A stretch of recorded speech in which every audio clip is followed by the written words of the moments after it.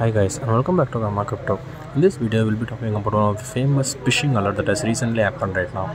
Yes, Grumpy Bears, which is nothing but a Solana family of 8088 888 Grumpy Bears in an NFT compilation and painted by some Malaysian freelance artist called Edward Chi.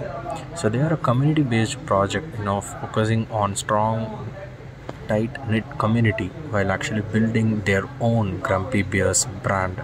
But right now, this has been reportedly uh, phishing has been detected. So we all know that phishing is nothing but a fraudulent practice of you know sending emails um, to reputable companies in order to induce the individuals to actually reveal their personal information such as passwords and credit card numbers. And we advise all the users and uh, you know citizens to stop uh, now stop falling as prey to these phishing alert scams.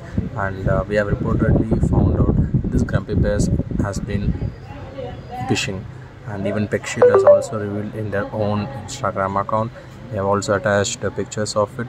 So while you know targeting about the grumpy bears we warn you to look care or take care of this phishing scheme. Thank you